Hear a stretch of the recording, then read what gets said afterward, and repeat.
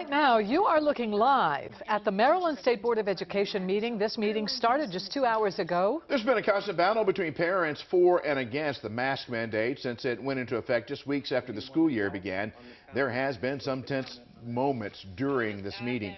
WJZ's live, Paul Gessler, is listening in and has more on where school COVID outbreaks have been the highest. Paul. Hey Vic, so you may recall this mask mandate went into effect after the school year had started and some local school districts, two of them, had actually started the year with masking optional. Now today we heard from several parents adamant toward keeping and lifting this school masking mandate set to expire in February. Pandemic is not over. We are still in the thick of it. Now is the time to get back to normal. A split among parents who addressed the state school board Tuesday during its special meeting on their mask mandate.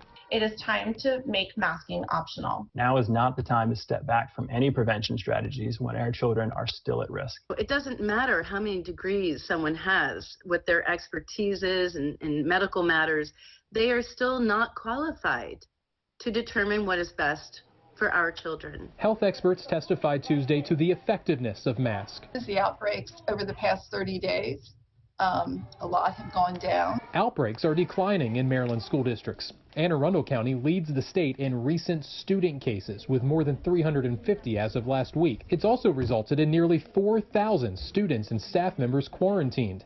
Teacher Janelle Winlow says some students just won't comply. Students won't keep them up, and I waste a lot of my instructional time telling them to pull them up, which often results in disrespect, defiance, and noncompliance. Parents are split on whether masks do more harm than good. There is something sinister and cruel about covering the faces of healthy children. Masking and vaccinations are allowing for the continuation of education for countless children.